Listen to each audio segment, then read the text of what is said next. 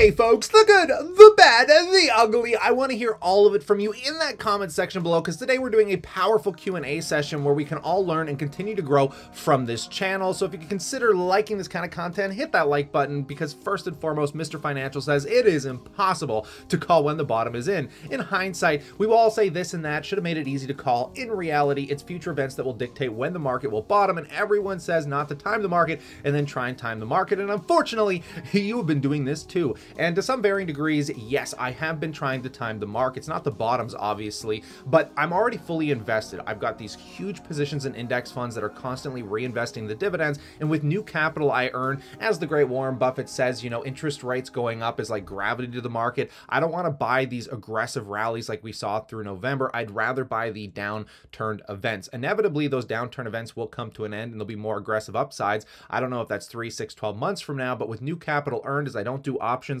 I don't short the market. I want to optimize it by being more aggressive when the market is downtrending. So it's just my own little kind of spin on what I'm seeing going on here. And it is working to my favor. And eh, like I said, everyone's got their own madness to their method. But like I said, I'm not trying to time the exact bottoms of the market. Here's a bit of a hateful comment coming from Jason Spooner saying, It's so true. Like when you were pushing Facebook at 320 to your viewers, but then sold your holdings a few days later. A clown is a good, great name for this video. So first and foremost, Facebook, I held for years. It's not like something I just pumped and dumped. In fact, I don't even think I really lost any money on it because I held it for so damn long and I ended up selling out between like the 220s and 250 area. But you got to keep in mind as my portfolio scaled, as the market conditions change, my own opinions will change on my holdings. You go look at my portfolio from a couple years ago and it doesn't look anything like it does now. Hell, I was pumping things like GEO back in the day, gold, precious metals, all this stuff that isn't a big proponent to my portfolio, but that's the point of the growth of this channel is to be fully transparent and show you guys that growth without pumping things and then saying, "Oh, I'm buy this, buy this," and then I'm selling it, but I'm not telling you.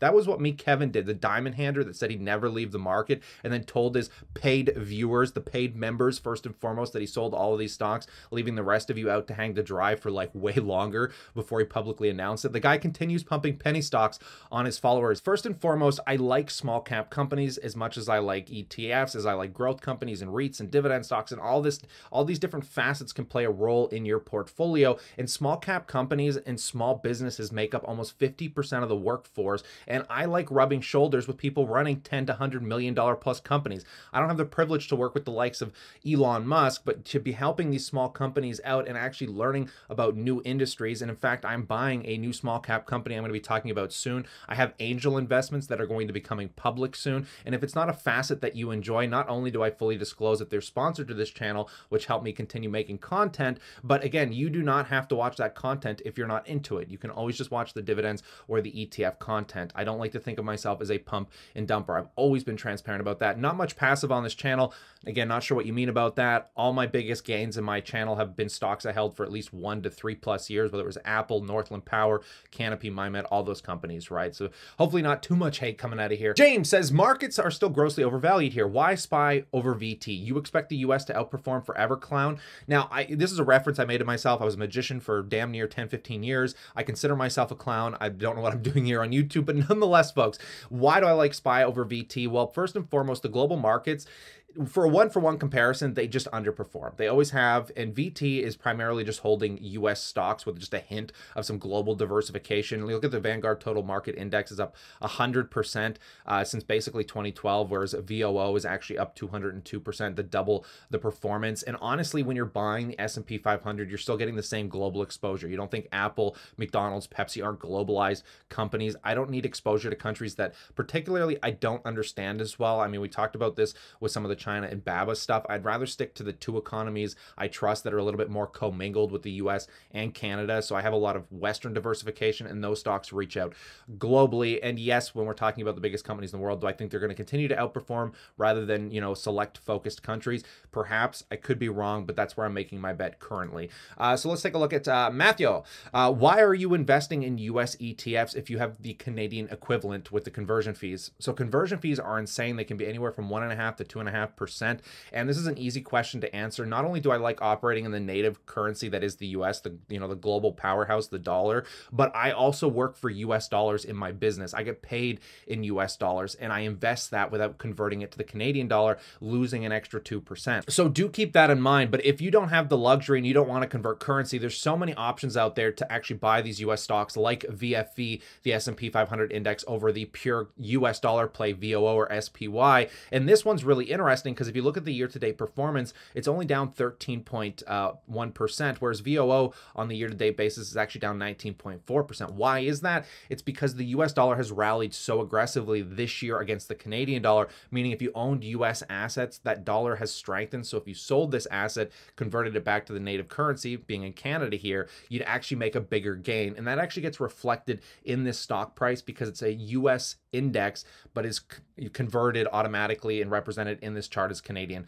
dollars. Very fascinating stuff for you uh, Canadians out there that want that exposure but don't want to convert currencies. Ryan says, can you just show the CAD pricing of stocks versus always going back and forth from one bank to another and changing from CAD to USD? So when I do my broad portfolio overviews, that general chart that I show you, that that spreadsheet, that is all converted to Canadian dollars. That's why I show it because it represents the native currency as it stands in the moment with the dollar conversion values. Whereas when I'm diving down into my actual brokerage accounts, they're divvied up between Canadian and US brokerage accounts. I think I have like 13 or 14 different brokerage accounts between two different banks because every single one of my individual accounts has a multitude of accounts connected to it. It's kind of confusing, but hey, it's just the way the cards have landed with me, you know, having US and Canadian dollar focused investments. But nonetheless, Fit BH says, Are you planning on adding any more individual dividend stocks back in Kyle to hit your uh, goal quicker on the divvies? Actually, no. I'm thinking about doing the opposite, to be honest. I'm more or less kind of more inclined to focus on the ETFs because the true form of passive income is not having to manage the stocks. And that's why I hate looking at investors that have 40 or 50 dividend stocks because you just can't manage them. You're not doing the homework. There's no system in play that will weight the ones that are doing horribly that are going out of favor whereas you know the S&P 500 um, you look at VYM VDY uh, I think even SCHD guys a lot of these have like mechanisms in play that will weight them based off market cap and it makes it truly a lot more passive because you go look at the S&P 500 I mean god knows 20 years ago and if you told yourself hey I'm just going to buy the biggest and largest dividend stocks that sit on the S&P 500 those have changed pretty dramatically when you're talking about things like GE a lot of these oil giants a lot of those have underperformed over the long term and have been replaced by tech companies. So I'd rather own the indexes, get a less of a dividend, but not losing that growth potential that you're going to get from having that broader based exposure. So we'll talk about that more once we get into a portfolio overview soon here. Do you own any Tesla? No made my fortune on Tesla, my small fortune, got out at a great time. It's something that I will perhaps consider buying back into um, as these pressures continue to weigh on Tesla into 2023. I'm just sidelining it for now and just being an observer. I do love Tesla, but the entire stock market is pure fugazi. I think it's going to be one of the largest auto companies in the world by revenue. Um, it's just a matter of we're kind of in this overvalued phase versus market perception phase, and it's going to get messy for a bit. Uh, G Mark says, I'm 50% cash. Let's go. Don't know if I'd be proud of that. Uh, unless you're like a multi-millionaire, I'd get having a huge pile of cash. But for me personally, I don't like having any more than 10% because if this market turns around at some point, which it will, too much cash in the markets, too much fear, when that alleviates, we're always going to end up seeing double digit gains as every recession, every crash in the market has proved prior. So I'd rather try and cost average with the cash and just keep a healthy position for an emergency fund, you know, no more than about six to 12 months. And again, as new cash comes in, I will slowly invest it as the markets uh, kind of downtrend. But let's talk with Luna here. What do you think about market GICs versus registered GICs? Currently, Royal Bank has a market GIC that guarantees 10% return in three years with a chance of it going up to 25%.